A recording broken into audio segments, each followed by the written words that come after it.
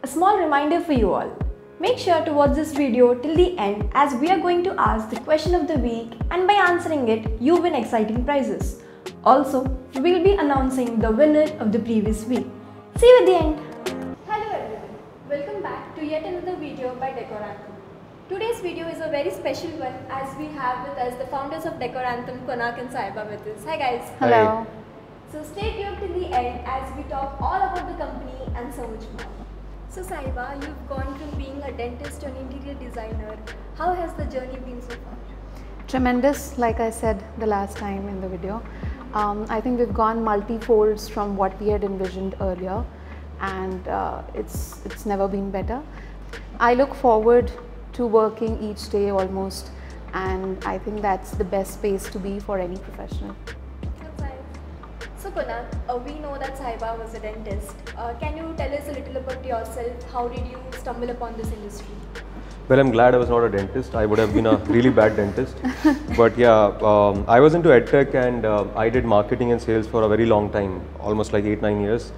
And uh, this journey just happened, you know. Uh, we were looking at doing constructions. Um, we did start with a few projects here and there, but then eventually it was uh, designing and interiors that was meant to be. Uh, so we're glad we are here and we're doing good. Nice. I many of our audiences had this question and I hope it has been answered now. Sure. Sure. Uh, so Konak, uh, how is your experience today helping you in running this company successfully? Um, I'm glad that you are calling it a success already. Yeah, I think it's a journey that we are uh, all facing. But um, uh, what I did uh, when I was working with a few companies uh, I worked with in the past, um, all I learned was a lot of um, aggregation. You know, um, starting starting small and you know uh, adding more clients as you go, uh, getting them the right solutions, and I think which is why we are here um, with the size we are with uh, today. Um, you know, we we started very small. Um, we kept on adding to our products and services, and now we are here today with with a lot of clients that we've amassed and um, a lot of people we have served uh, to in the last few years. So I'm really happy that my, experience is coming into some play today. Mhm. It's really nice to know. Yeah, thank you. Mhm. Uh, can we know how the name uh, Decor Anthem was finalized? Or did you have any other options in mind, any other names? What's the story behind it? I think I would take up that. Um, we did have a lot of um names that came to our minds, uh, but we really wanted something quirky, something that catches some attention.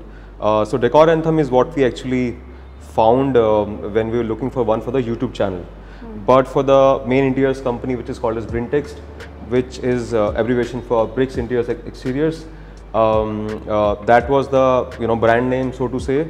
But it was not that easy for one to catch on to. So we wanted a different name for the YouTube channel, and after uh, you know uh, looking at a lot of names, Decor Anthem sounded really quirky and uh, really um, attractive. So that's how we sort of got this name. That's quite a unique name actually. Uh, it is. It is. Decor Anthem. It's gotten a like lot it. of attention. Yeah, we wanted people to remember the one time that they hear the name and that's I think has worked. Definitely us. worked. Right. Uh, so uh, we get a lot of questions uh, from when people hand over keys to you to the final home tour shoot. So can you tell our audience how smooth is this journey for them? Um, I think it's very smooth, I would say. Um, we have very well compartmentalized all the areas that we are focusing on. Design phase is separate from the execution phase, and uh, the client has to put all their energies in only the design phase, I feel. And once that is uh, finalized and signed off, the execution phase actually does not require the clients to be physically there. They could be as involved as they want to be. That's how we are able to cater a lot of clients in the US, UK, uh, a lot of other countries because they do not really need to be physically there to follow the progress. We send them updates.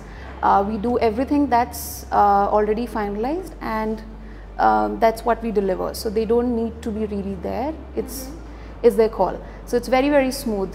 The, once they finalize the designs, they just need to come for the final handover if that's what they want. Well, that's nice to know. Uh, when did you hire your very first employee? And uh, how was the whole process of trusting someone uh, with the company that is very close to your heart?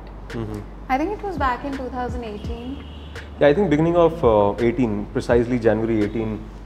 Uh, when we first got a uh, you know employee, um, we were uh, having a lot of thoughts around when to start, when to build a team, whether first we sort of carry on for a longer time uh, with what we were doing as just the two of us, and also the office that we had set up in the beginning um, did have some expense, so we had to look at expenses as well. But I think uh, eventually, when we thought we were ready for it and we needed one uh, person to, uh, you know, sort of work with us, we got it started in January 18. It wasn't easy, obviously, in the beginning to um, uh, fully understand. I mean, I think tr- trust is not the point we were really Yeah. concerned about, but we Yeah. were rather concerned about the uh, the the the need that we had. You know, the void that we were feeling. We were not very sure as to we hire somebody in execution or we hire somebody for sales or we hire somebody for accounting or we hire somebody who can take care of all of the things so i think eventually then we hired somebody for execution because there is where we needed hands um, and then we figured that we needed hands everywhere and then we started building the team Okay. The office uh, at Khajaguda is very beautiful, I must say. So, did you always have the plan of making a lounge and a corporate uh, space under one roof? Uh, yeah, I think our plan was to make both under one Yeah. roof, and we were pretty excited for what we were doing there. Um, it was a much bigger space than we had earlier, and we were really uh, into making something that's uh, that gives an idea to the clients uh, who walk in in the first place to uh, to sort of know what our uh, thought process, what our kind of designs are. Um, but I think eventually it got uh, consumed like a, a corporate office more and much lesser as a lounge. Uh, we had to add more spaces now. Uh, so right now we started as lounge and corporate office both, but right now it's majorly uh, used as the corporate office and not as much as the lounge. We would be adding a lot more spaces for uh, many more things to go now. Okay. How long did it take to complete the construction of the office? What were the hurdles you faced during the process? No, I think the building was already constructed. We uh, took a bare shell space in a already set up building. Okay. So construction um, effectively wasn't involved at all. But uh, obviously, when you when you pick up a bare shell space, there is a lot of work that needs to be put in. Um, and um, just when we had taken the office, we, we saw co- COVID hitting COVID, everybody, and uh, it was worse. But then I think um, eventually it took us a, took us about four months from the time we got the keys and uh, to the time we actually started our operations. Um, yeah, I think just the right time. So even with COVID, uh, it didn't take us very very long. So we're happy about that. Nice. So we understand that every business has its own challenges. So what are the challenges have you faced in interior design? I think there are many challenges that uh, one would face in any business, but um, in this one specifically, I think the biggest challenge I would um, I would point out at would be uh, visualization. You know, um, people who are dreaming about their um, uh, homes, um, they would have had some knowledge uh, that they would have picked up from here and there, but then when we're trying to explain them what we really want to tell them, um, pictures and videos may not do full justice. You know, even though we would be very sure about what we really want to tell them uh, or show them, um, only the I mean, th- we have advanced a lot. There are like really good tools uh, that can do really nice 3ds, but then the kind of texture or the kind of colors that you would see in a real a laminate or a surface that you would want to uh, put in their houses may not come out as clearly in a 3D. Um, so I think visualization has been a, a bit of a challenge. We have been improving with that with, with the technology that is coming in, but then at the same time, um, uh, physical um, environment needs to be mixed with the digital one. A physical environment or a physical setup is one where we could actually possibly show them, you know, wardrobes or cabinets that we are actually trying to put in their houses.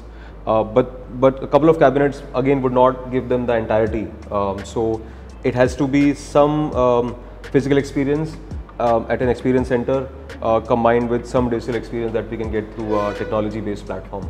So that is something that I think we have been working on, and that needs to be bettered. Um, so that I think has been our greatest uh, challenge. Okay. So where do you see Decor Anthem in the next five years? I think we have a lot of plans in the pipeline. Uh, we'd be dwelling in a lot more segments related to interior designing. We'd be um, offering a lot of products related to interior designing very very soon. Uh, we're already working on it and uh, hopefully you'll see a lot more things in the market with our brand pretty soon I think. Okay, that's nice to know the plans. Thank you so much, Konak and Saiba. I am Thank you. pretty sure that our subscribers' questions have been answered today. We hope so. We had a lot of fun shooting this. Yeah, we had a lot of fun. So if you have any further questions for our founders or the team, do let us know in the comment section and we'll be back with a part two. Like, Share, And subscribe. comment too please. Yeah, do that. we'll be coming with a lot of videos in our channel. Stay tuned. Bye bye.